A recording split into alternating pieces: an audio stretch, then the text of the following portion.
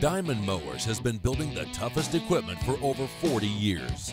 We build strong and powerful mowers for the real world so that you get quality, reliable results. That's why we built the skid steer rotary mower, ideal for large scale bush clearing operations. This unit will clear acres of overgrown fields fast. But before you begin running your 60 inch, 72 inch, or 84 inch head, we want to talk you through a couple of tips and techniques to make your unit the most productive tool in your arsenal.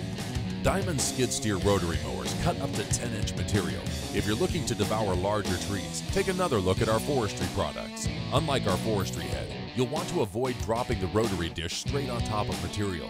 In order to keep your deck in good shape, we urge you to leave the pancaking to the breakfast table. Use the rotary head to cut by driving straight into the material. This technique helps prevent overloading material into the head or putting too much pressure on the deck. Our mowers are supplied with heavy blades that are built to break away upon contact with rocks or other large obstacles. This breakaway keeps your blade sharper for a longer lasting parts life. Maintaining this beast is simple. Just make sure you service it every 500 hours and change the blades as necessary. So let's get started. Our first technique is the tree cut. For larger trees, begin with your mower front and center of the tree. With the blades running at full speed, use the mower's push bar to lean into the tree as you cut. You'll want to be quick and smooth with this operation and completely sever the tree in one action. If you hear the blade slowing down, back up, let your dish recover, and move into it again.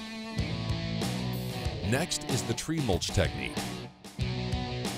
To mulch the tree, keep your deck level with the ground. Run your blades up to full speed and start by lifting your arms as high as you're comfortable. Now's a good time to make sure you have safety glass in place. In any mulching application, debris can jump back and hit your gear. Make sure to stay safe.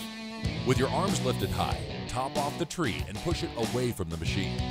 Now you'll back up, let your blades run up to speed, and drop your deck down 6 to 12 inches to make another cut. Repeat this process all the way down the tree until it's gone. The reprocessing technique will provide a clean, finished look to your worksite. After mulching your tree for the first time, there will likely be branches and large debris lying around your worksite. For a more groomed look, you can reprocess this debris by raising your lift arms about 6 inches and dropping the front of the head toward the ground and skim the ground with your leading edge. Then back over the remaining debris for a finished look. For users that want tree stumps at or below ground level, you'll want to use the stump cut technique. To do this, first, drive over the stump with the skid shoes level to the ground. You'll be left with a stump that is about 3 inches tall. Then, back up off the stump, lift the back of the head up and point the nose down so that the blades are skimming the ground. When your blades are up to full speed, drive forward over the stump with a quick but smooth motion. If you don't make it all the way through the stump, you'll want to back up, allow your blades to recover to full speed, and repeat. When mowing light brush or heavy grass, you need to process a lot of material all at once rather than one big stem or trunk. In really dense brush, lift up your deck 12 to 18 inches, angle down your nose a few degrees, and make a first pass through the brush. Taking this first pass will reduce the amount of total material you need to process all at once, which reduces the load on your skid steer. Keeping your deck tipped forward will ensure that the blades only have to cut the material once and provide enough room behind the head for the exhausted material. After your first pass, go back through the same area with your skid shoes down on the ground and mow the material again. This will provide a finished cut about 3 inches high. If you hear your machine slow or bog down, pick up your head or reduce your ground speed to accommodate the density of the material.